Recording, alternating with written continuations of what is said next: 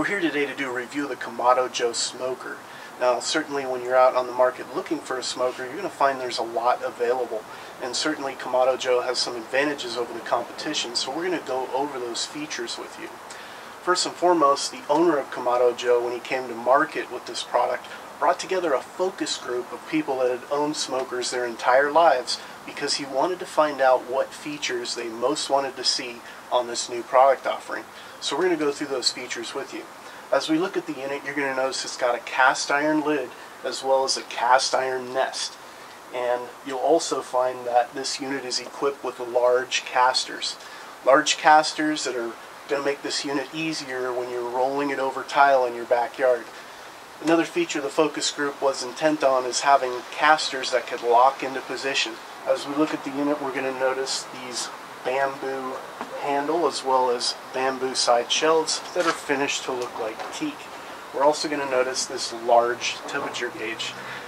One of the things the focus group really wanted to see was a large temperature gauge that was extremely accurate can show you temperature ranges of 100 degrees where you'll be when you're smoking meat all the way up to say 600 degrees where I'd cook a pizza and all the way up to 8 or 900 degrees where you can sear steak. Another one of the features of this unit I want to bring mention to is the thickness of the sidewalls. The thicker the sidewalls are on the unit, the better and longer that this egg can store heat. And what that in turn means is that the unit is actually more fuel efficient. The better the sidewalls can store heat, the slower your lump charcoal is going to burn, and the longer your charcoal is going to last. Now lump charcoal differs from matchlight charcoal in a number of ways.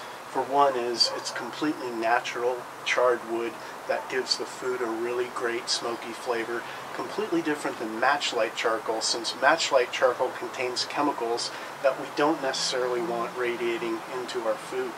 Some of the newer features you're going to find on the latest Kamado Joe, they feature a catch-all that can capture the ash as you pull it out of the basin. They also have a spark arrestor across the front door. Kamado Joe has also recently introduced the Divide and Conquer great system, which I'm not going to be demonstrating here today since we're going to be cooking a pizza on this Kamado Joe. Now the pizza stone is an accessory that can be purchased. I highly recommend it. These units are really good at cooking pizzas. If you're at all familiar with pizza ovens, you're going to find that there are a number of companies that are offering brick oven pizzas for your backyard. Those can typically range anywhere from nine to ten thousand dollars and up.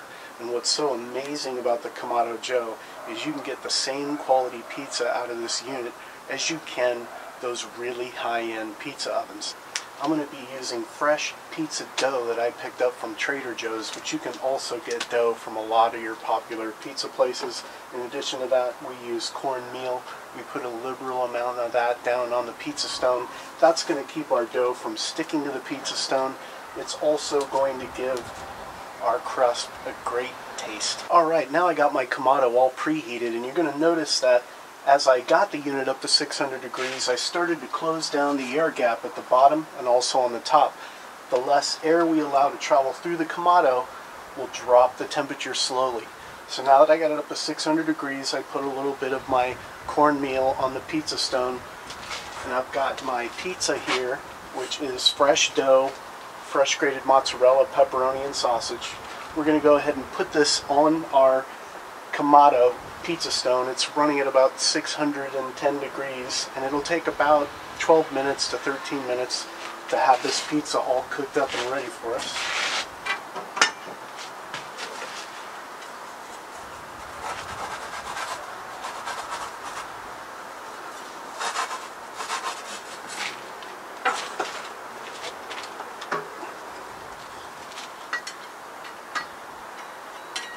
Alright, now we are just going to wait about 12 to 13 minutes and our pizza will be ready to go. Alright, now it's been about 13 minutes. We're going to go ahead and pull our pizza right off the Kamado Joe here.